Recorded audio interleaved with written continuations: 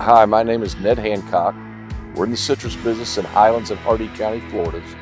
Hancock Citrus Incorporated, which my wife and I started in 1989. We've been operating this farm for over 20 years. Greening has been extremely challenging for the entire industry. There's no one person or no one area that's been immune to it.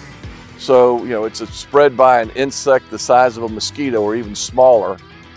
It's the bacteria that they transmit from tree to tree uh, that over time continues to, to degrade the tree and cause that disease to, to basically take it out of production, limit its production, and also has had an adverse effect on the quality of the fruit.